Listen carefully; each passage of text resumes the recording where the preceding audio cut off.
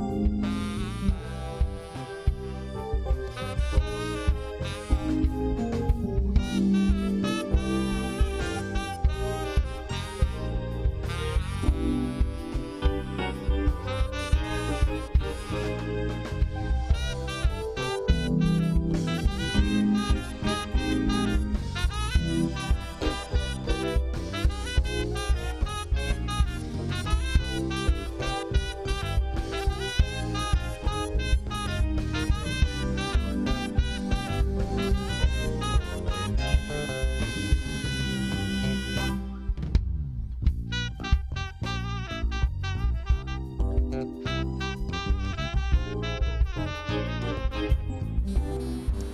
All right, good morning, everybody. This Powerhouse Contemporary Jazz Group is a longtime friend of the show.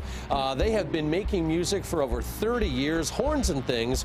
They've released four CDs. You can check them out Saturday, this upcoming Saturday, at the Tangier in Akron. It's part of their 36th anniversary celebration. So check them out, and we'll be hearing more from Horns and Things as we uh, turn the corner here. 8 o'clock show in just about 15 minutes.